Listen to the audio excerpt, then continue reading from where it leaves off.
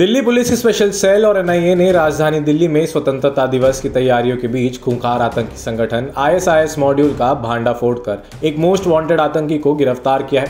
Delhi police की special cell ने राजधानी में स्वतंत्रता दिवस की तैयारियों के बीच खूंखार आतंकी संगठन इस्लामिक स्टेट मॉड्यूल का भांडा फोड़कर एक मोस्ट वांटेड आतंकी को गिरफ़्तार किया है। बताया जा रहा है कि उसके पास से एक हथियार भी बरामद किया गया है। रिजवान को दिल्ली से ही गिरफ़्तार किया गया है। गिरफ़्तार आतंकी रिजवान अली दिल्ली के दरियागंज इलाके का रहने वाला है और पुणे मॉड्यूल का मुख्य संचालक है। पिछले साल जुलाई 2023 में पुणे पुलिस की हिरासत से भागने के बाद से वह फरार चल रहा था। नेशनल इन्वेस्टिगेशन एजेंसी एनआईए समेत देश की तमाम एजेंसियाँ काफ़ी समय से इसकी तलाश में जुटी हुई थी। एनआईए की मोस्ट वांटेड लिस्ट में शामिल इस आतंकी पर तीन लाख रुपए का इनाम घोषित किया गया था। भाषा के अनुसार एक अधिकारी ने बताया कि ऐसा संदेह है कि वह दिल्ली एनसीआर के कुछ वीआईपी लोगों पर हमला करने की फिराक में था। उससे पूछताछ की जा रही है। बता दें कि 15 अगस्त से पहले हुई रिजवान अली की गिरफ्तारी दिल्ली पुलिस स्पेशल सेल के लिए एक बेहद बड़ी कामयाबी है। दिल्ली पुलिस और एनआईए समेत तमाम एजेंसियाँ अब उससे पूछताछ कर उसके आगे की प्लानिंग के बारे में जानकारी जुटाने की कोशिश कर रही है। रात 11 बजे हुई गिरफ्तारी, हथियार और दो मोबाइल फ़ोन बरामद दिल्ली पुलिस ने बताया कि गुरुवार 8 अगस्त को एनआईए द्वारा वांटेड आतंकी रिजवान अली के बारे में गुप्त सूचना प्राप्त हुई थी। इसके बाद दिल्ली पुलिस ने रात करीब 11 बजे बायोडाइवर्सिटी पार्क, दिल्ली के निकट गंगा बक्स मार्ग से गिरफ़्तार कर लिया। गिरफ्तारी के दौरान उसे कब्जे से 30 बोर की एक स्टार पिस्टल और तीन ज़िंदा कारतूस और दो मोबाइल फ़ोन बरामद किए गए। इस संबंध में दिल्ली पुलिस के स्पेशल सेल थाने में एक मामला दर्ज किया गया है। बता दें कि कुख्यात आतंकी रिजवान पर दिल्ली मुंबई गंभीर आपराधिक धाराओं में मामले दर्ज है।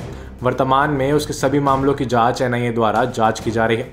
इस पूरे मामले पर रिजवान की माँ का कहना है कि पुणे नौकरी करने गया था और हम तो ये समझ रहे थे कि हमारा बच्चा पढ़ रहा है आगे कमाई कर रहा है अपना भविष्य बना रहा है। आइए आपको सुनवाते रिजवान की माँ का क्या कहना है। हमारे पास वो था नहीं। तो वो एक साल से ही गया हुआ था। तो बात सुनिए हमारा बच्चा नेक है शरीफ है। हम लोग ये लोग एन वाले कुछ भी गए कहें कहने दीजिए इनको।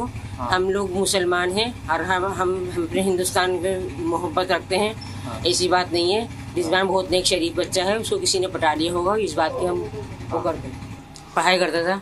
हाँ। बारहवीं कर दी थी उसे अच्छा पुणे क्या वो गया था? क्या हुआ था पुणे का? पुणे में कमाने के लिए गया था उसकी वाइफ थी तो उसकी सजा नहीं ये कहती था कि भाई तू कब तक अपने बाप के पाँव पर खड़ा रहेगा अपने पाँव पे खड़ा हो। तो वो चला गया था इस वजह से अच्छा। कमाने के लिए। रिजवान उसमें था। तो क्या मतलब कभी संपर्क में था वो या मतलब क्या? कभी संपर्क में नहीं था वो तो स्टूडेंट था एक। वो कहाँ संपर्क में आएगा आप ये सोचिए खुद ही। किसी ने से पढ़ाया है तो हम उसकी गारंटी नहीं दे सकते। तो भी बच्चा था वो तो। अच्छा आप लोगों से लगातार बातचीत हो रही थी नहीं उनकी बातचीत हो रही थी हमारी वो केरला गमी में जा रही हूँ। मैंने कहा अच्छा बेटा। कब की बात है ये? एक साल हो गया पूरा। एक साल हो गया जब उसने कहा कि अम्मी मैं जा रहा हूँ। मेरा बच्चा लाडला था और बहुत ही लाडला है। मैं तो दुआ करती थी मेरी उसके लिए। कभी ढूँढने की कोशिश की आप कहाँ से ढूंढते हैं? जब पता ही नहीं तो। पुलिस ने कहा था ना पुणे भी देख लिया सब जगह देख लिया। तो हम कहाँ से देखते? वो तो कहता लगा मैं यहाँ से जा रहा हूँ। बस कहीं और जाके रहेगा, कुछ पता नहीं कहाँ जाके रहेगा, कुछ नहीं पता। पता नहीं मेरा बेटा मेहनत मेहनत मजदूरी कर रही हो क्या कर रही हो कुछ नहीं पता हमें।